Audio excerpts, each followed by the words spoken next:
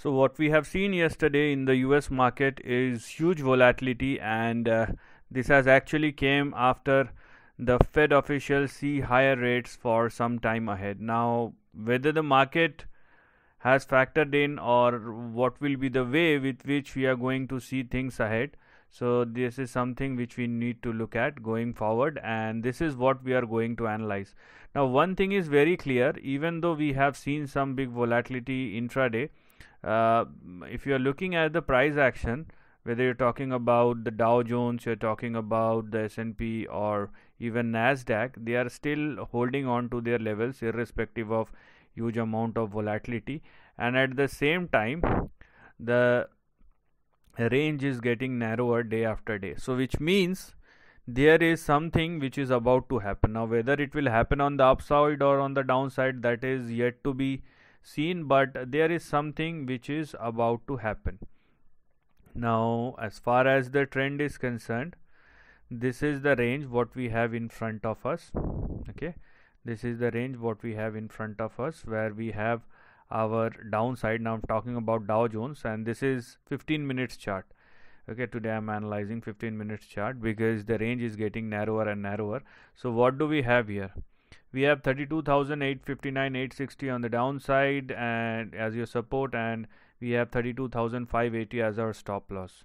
Okay similarly on the upside we have 33,400 and we do have 33,446 or 33,450 so this is the range which we have to look at and if you don't want 32,580 that's fine but uh, you know you don't require that because the actual range is in between 32,859 860 on the downside and 32,446 447 on the upside. So focus on this range.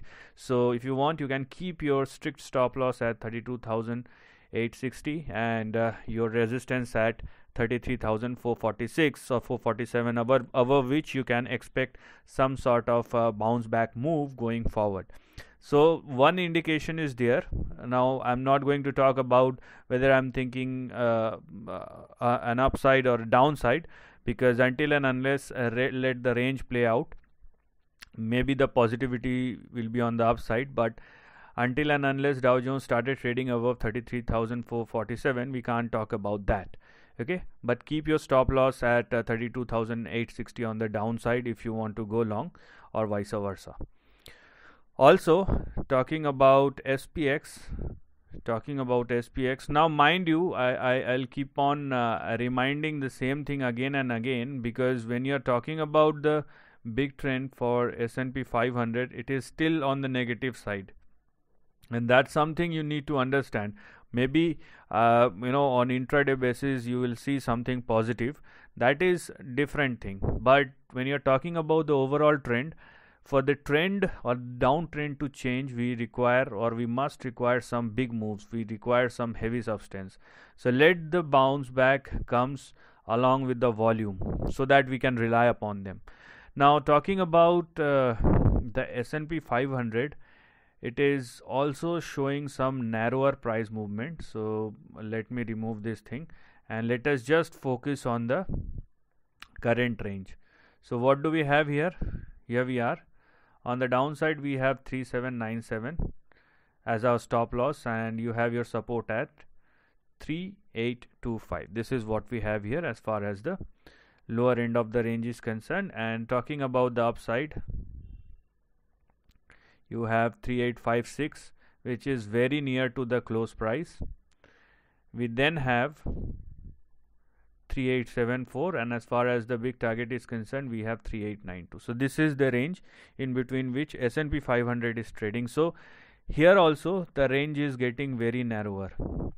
You know it simply indicates in both these uh, instances it simply indicate that the range will not sustain for very long period of time which means there is something big which is about to happen.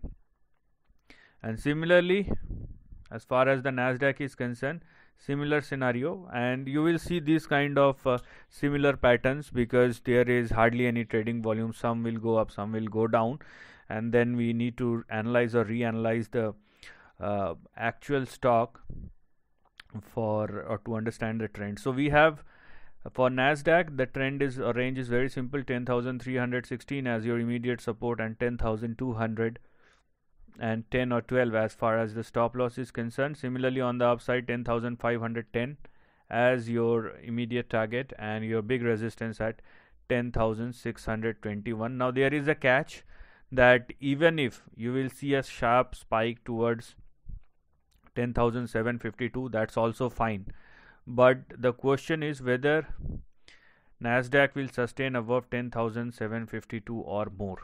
Okay, that's the big question. That's the big question what we have here. So all the indices are range bound. They are trading actually in a very narrow range. Right now, there is no point thinking about whether the trend will become positive or negative. But keep your stop loss on place. If you want to go upside, you just need to keep your strict stop loss on the downside and let's just wait for the breakout because one indication which at least I am getting from all the charts or all the three charts is the range is getting narrower and narrower. So which means a big trend or big swing is about to come. So this is the end of the video. Thanks for watching